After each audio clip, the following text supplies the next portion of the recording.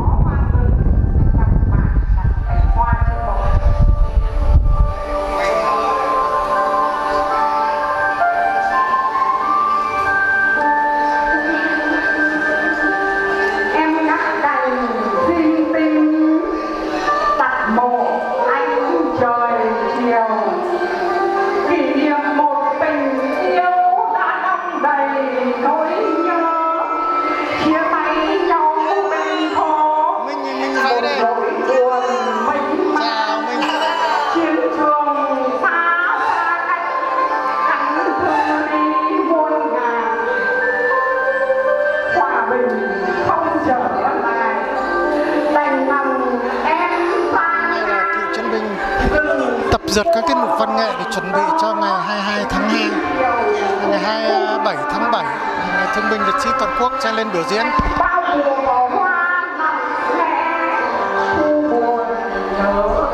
Bà nội Vinh ờ, Minh thì ờ, vinh dự là được ờ, làm MC dẫn chương trình.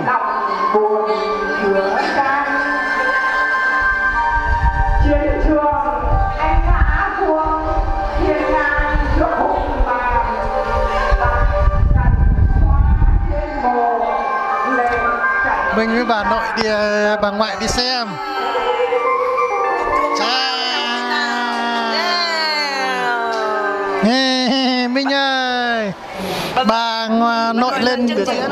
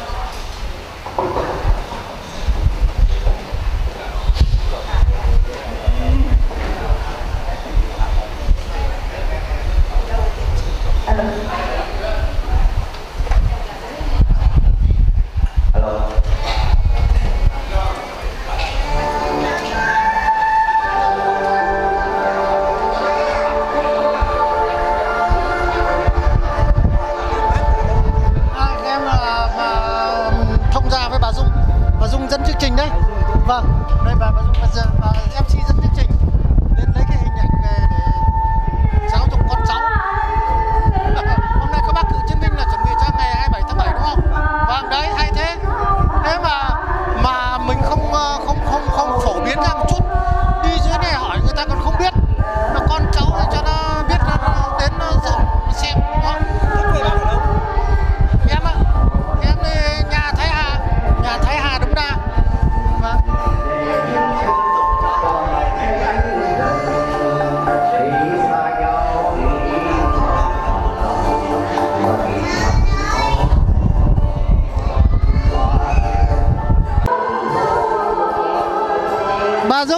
Trình xong rồi mc đây. Mc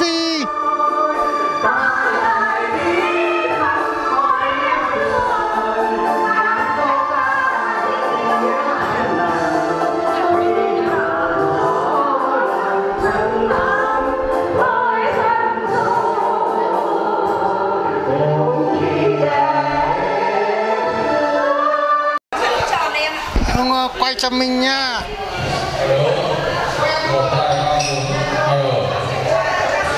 Alo một hai ba bốn. Alo. Alo. Một hai ba bốn. Alo. Alo alo. Alo Anh em đi về thôi chị. alo. Một hai ba alo. Tổ dân phố 19 Ông Chi hội cựu chiến binh kỷ niệm 70 năm ngày Thương binh liệt sĩ 27 tháng 7 1949 27 tháng 7 1 2017 Phúc La